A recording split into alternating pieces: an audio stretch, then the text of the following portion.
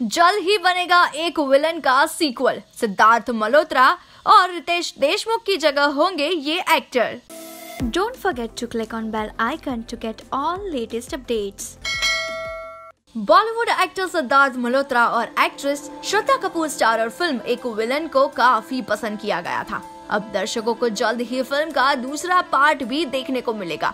बताया जा रहा है कि फ़िल्म के डायरेक्टर मोहित सूरी फ़िल्म मलंग की रिलीज़ के बाद एक विलन का सीक्वल बनाने जा रहे हैं। खास बात ये है कि इस बार फ़िल्म में सिद्धार्थ मल्होत्रा नज़र नहीं आएँगे। फ़िल्म की सीक्वल बनने की पुष्टि करते हुए बताया है कि इस बार सिद्धार्थ मल्होत्रा को जॉन अब्राहम रिप्लेस कर सकते हैं।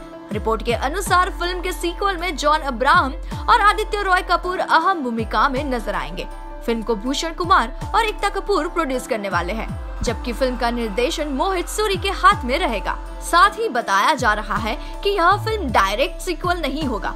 साथ ही इस फ़िल्म में भी लव स्टोरी देखने को मिलेगी और सिद्धार्थ रितेश के स्थान पर जॉन आदित्य नज़र आएँगे।